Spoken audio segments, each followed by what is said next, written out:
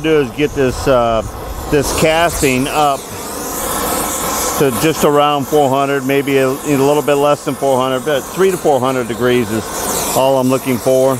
We got a good tinning in there. It's going to bond to it.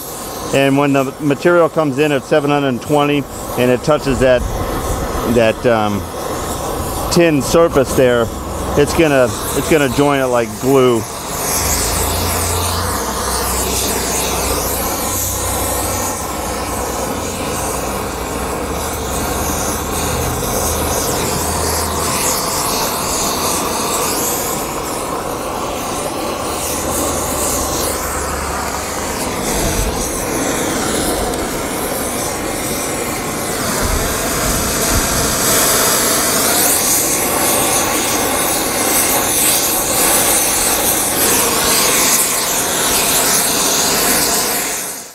Okay, one last little scrape off the top.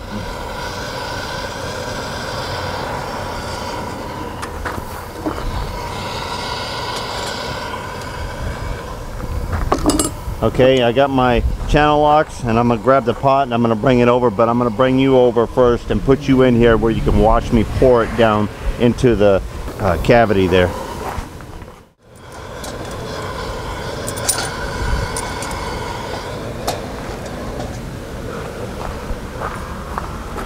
Okay, I got the pot so that I can tilt it and control it.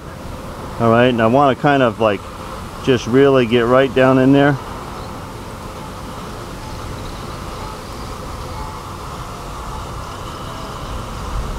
I got some seep trying to seep out.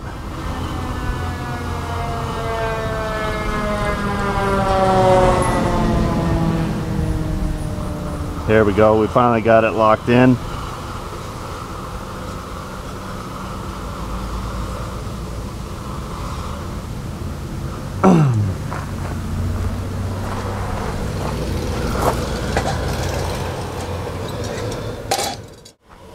All right, we had a little bit of leak out over here, and a little bit over here, but uh, it did solidify there. That's why I didn't want to give it too much temperature on there. All right, so now we're gonna see if we can flip this over because we want to pour the top now. Okay, we like that height. How stable is that? Let's go ahead and put it on the ground here. I like that much better.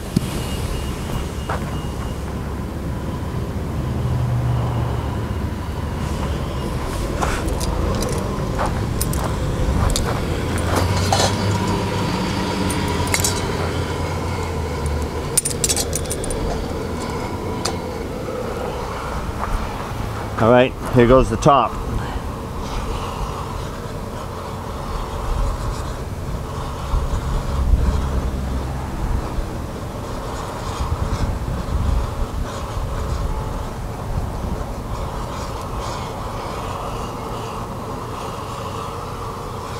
Little tiny bit of shrinkage.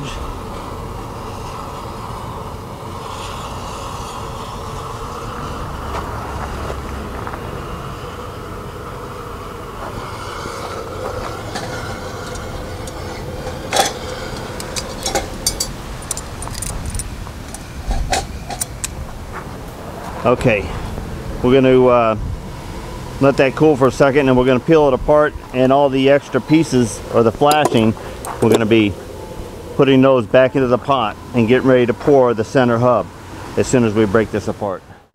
Let's see how we did. Carried it in here, it's still pretty hot.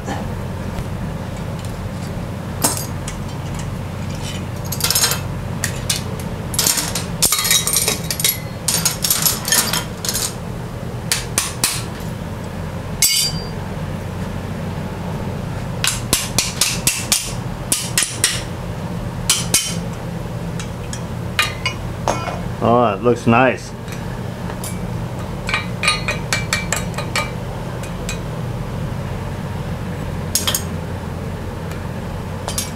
Okay, wrench. Whew. Mm, uh, we need pliers. Something here. I'm buried in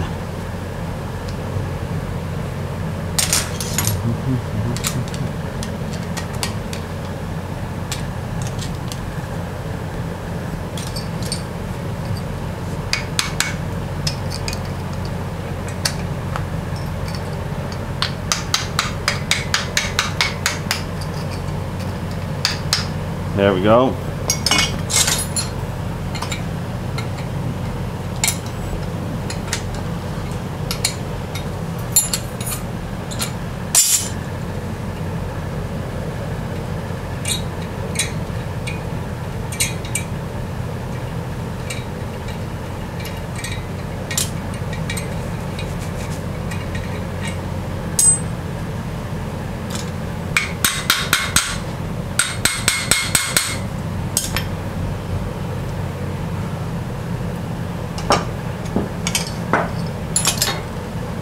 Okay, I gotta go get my rawhide mallet.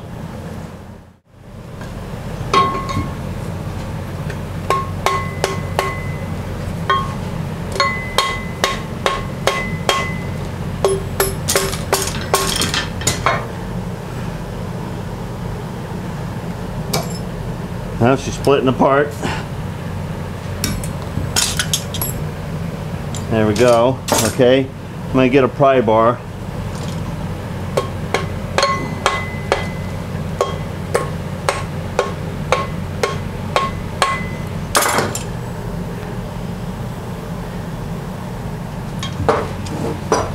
It's gonna be a nice tight fit.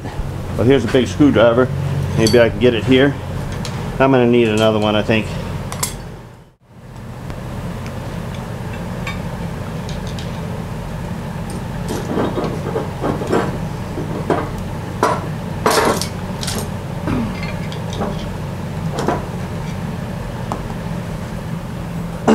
You know what it is? It's the straight boss. It's the straight boss that joins. So part of that will have to be eaten out. Okay. Excellent. Whew. All right, and then this one here.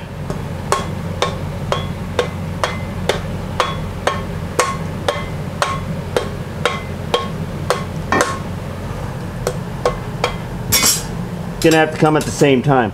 Uh, probably just the grooves of the turbo uh, end mill there um, create enough friction to keep that from uh, just popping right out of there.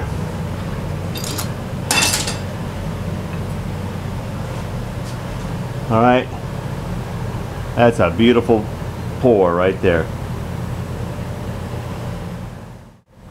All right, we've got our shaft here and we got our bearing, we got this all cleaned up we had very, very successful pour on our uh, pivot point.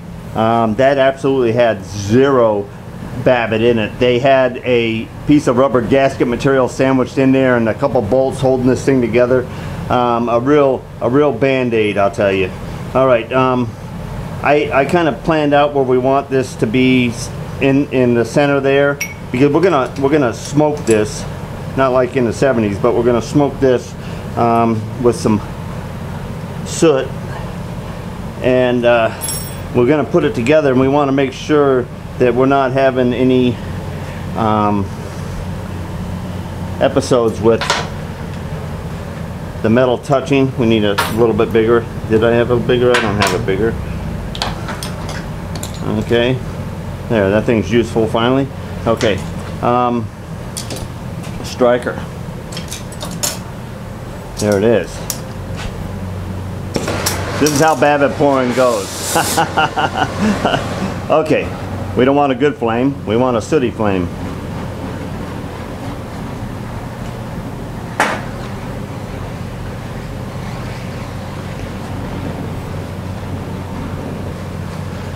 We smoking it.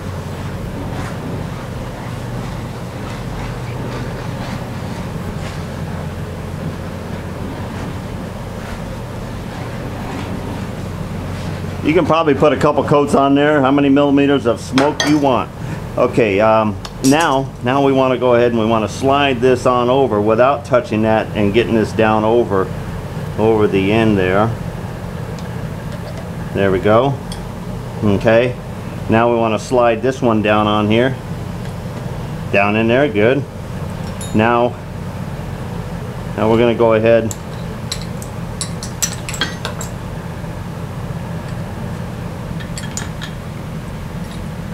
put it on the other way here.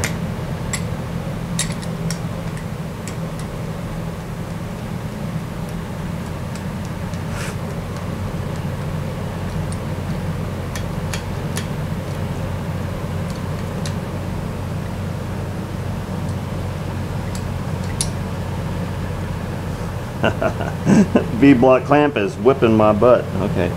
Ah. All right, those are both uh, sitting sitting down. This will just keep them from spreading apart. Okay. That, we're we're confident that we have a nice tight fit in there. Now we're going to go ahead and we're going to pull that plug that we put in here. Soon we get the babbitt right out of the center of that, which um,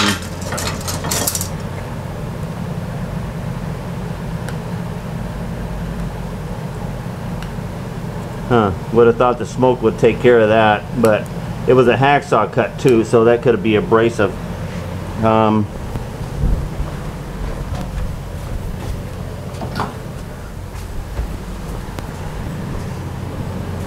we know how to do that. Okay.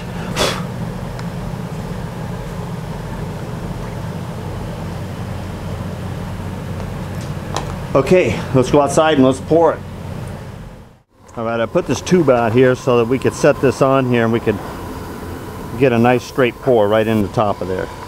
All right, let's go ahead and do our last skim here.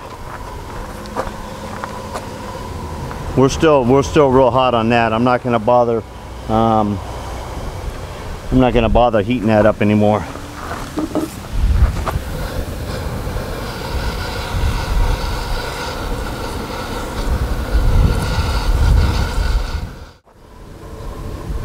Got that all set pretty good. The pot's ready. We got our pliers here.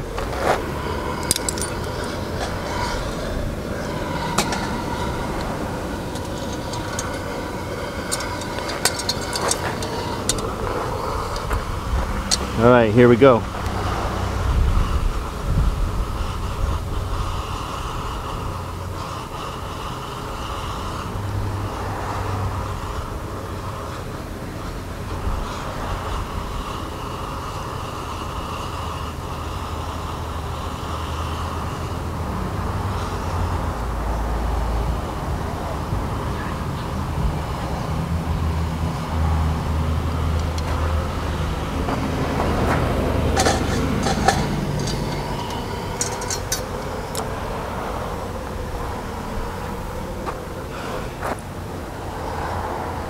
All right, we didn't have any leaking out.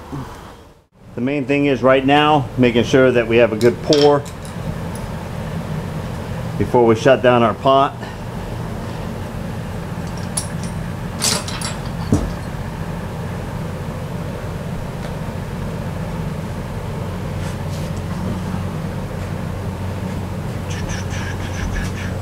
I did have a rawhide mallet here.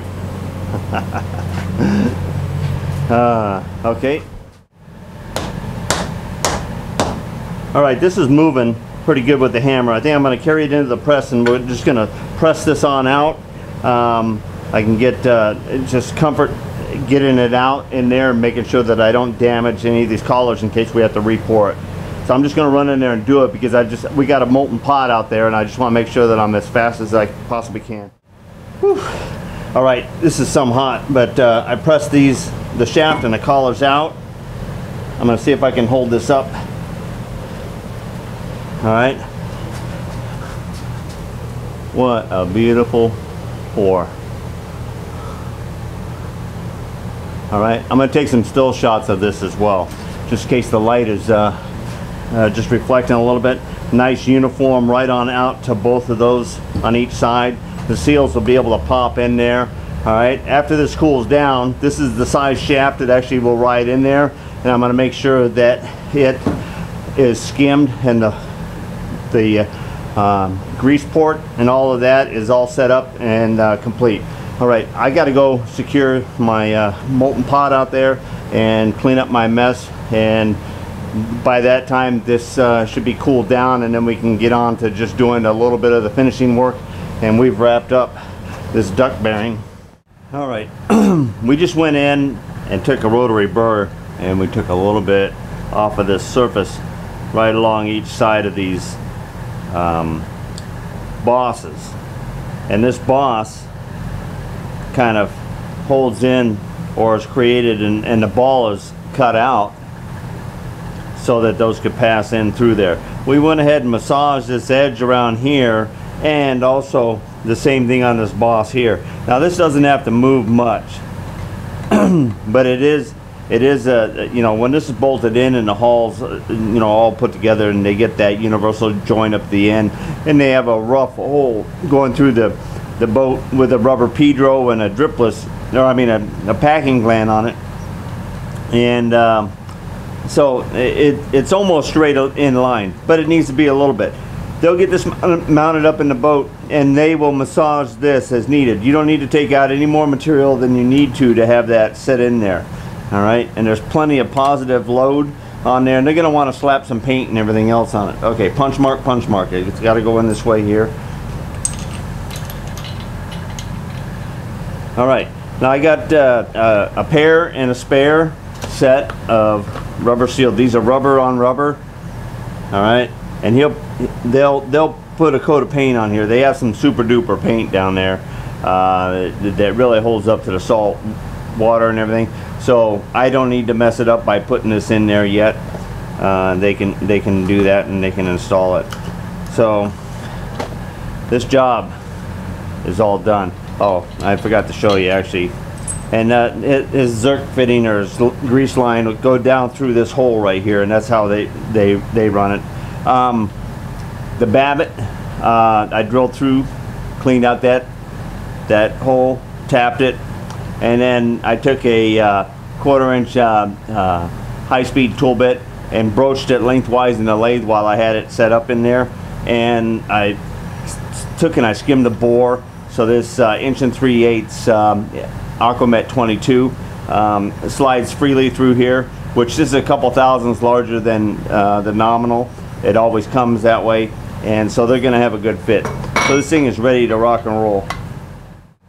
You know, each time I do a project, I pay attention to the comments, and uh, there was a few things uh, that was asked the last time I did a Babbitt pour uh, about tinning and this and that. Now, you knew that I, I had an inside cavity on the solid slug there and inside is a, a, hollowed out area so that once it's poured it can't it can't travel around in there.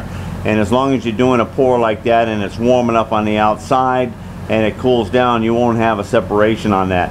When do you, you, you usually tin your surfaces when you got something that opens up okay? So that the half a shell is going to be hanging.